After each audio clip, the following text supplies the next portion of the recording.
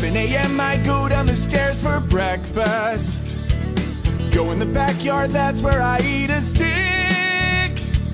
Sit on the couch and stare at something that's not there. And then I lay on your laptop so you can't do sh And then I'll lick my butt and chew my leg some more. Then I lay upside down right on the bathroom floor. And then